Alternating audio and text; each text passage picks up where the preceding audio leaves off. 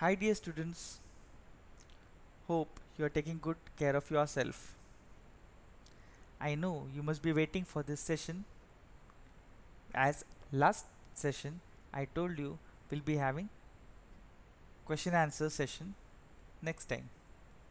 But before that I would like to ask you one thing that is are you reading textbook which I told you in the very first session please do read textbook. Do one thing. When you're reading textbook take a pencil in your hand.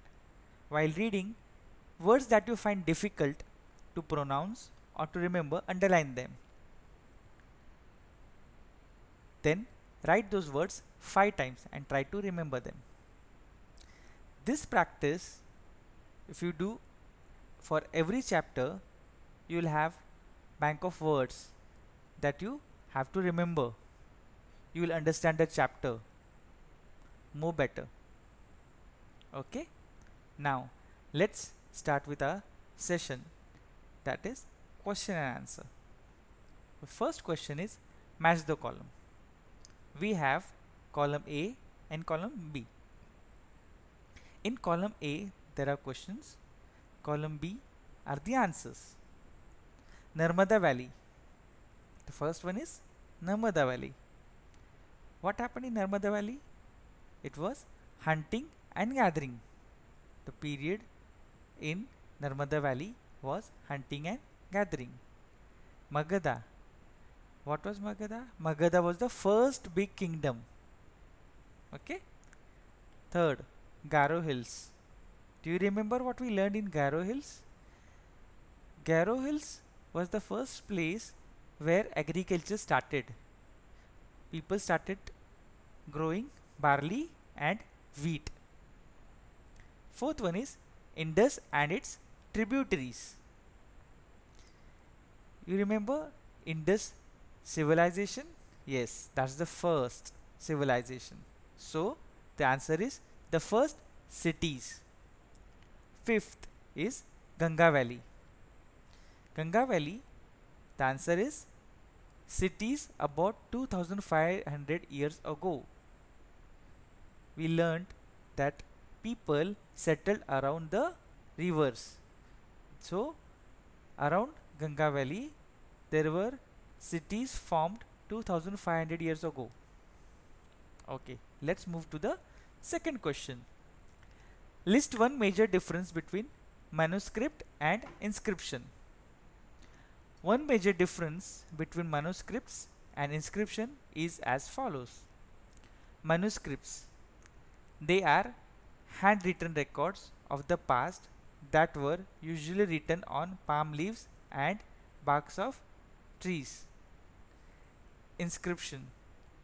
These are writings engraved on hard surface like stone or metal. So you understand the difference between the manuscript and the inscription. Manuscripts were on the palm leaves and bark of tree. What was the name of it? Birch tree. Where did, where did you find it? They were found in Himalayas. Then inscription. You remember the images that I had sent in the slide? One of those was what? Ashoka pillar. Okay. Now let's move to the third question. Written to Rashida's question, can you think of some answers to read to it? Answer. Rashida's question was, how could anyone know what had happened so many years ago? There were there are various ways by which people can know about the past. One can know about the past in different following different ways. By studying manuscripts and inscriptions. By studying the various remains of the past such as bones, tools, weapons, coins, etc. To understand the life of people in the past by trying to read and understand the books written in the past. So that was the answer of Rashida's question. Fourth, make a list of all objects that archaeologists may find. Which of these would be made of stone. Okay?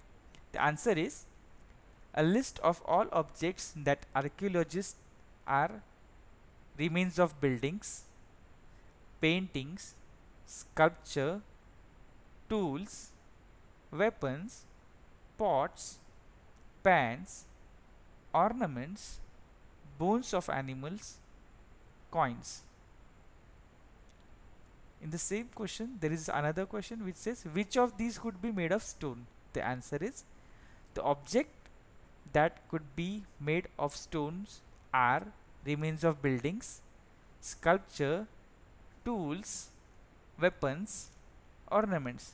These were made of stones.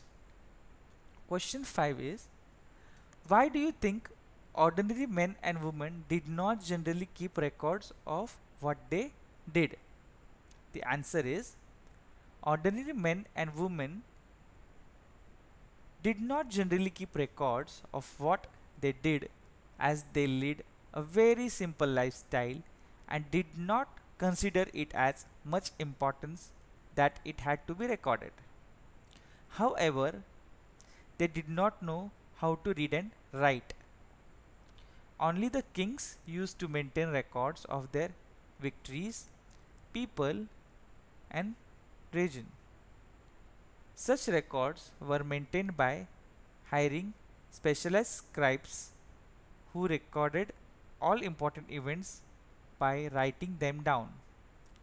Kings also employed highly skilled craftsmen who maintained records by inscribing them on stones. Such costly efforts could not be afforded by ordinary people. So, it was not everyone was literate. Common people they were not literate. So only kings could afford it to do. As well as the ordinary men and women they had a very simple lifestyle. So they did not give such an importance to inscribe it or write it down. Okay? And as they were common people they could not afford also. Question 6 describe at least two ways in which you think the lives of kings would have been different from those of farmers?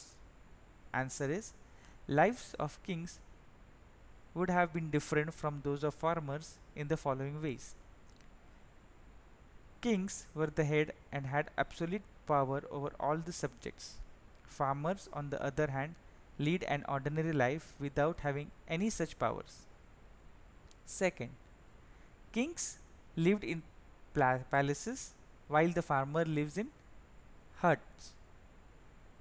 Third, kings fought battles to protect his kingdom and people from enemies, whereas the farmers produced food for their kings and the other people of the kingdom. So these three were the differences between farmer and the king.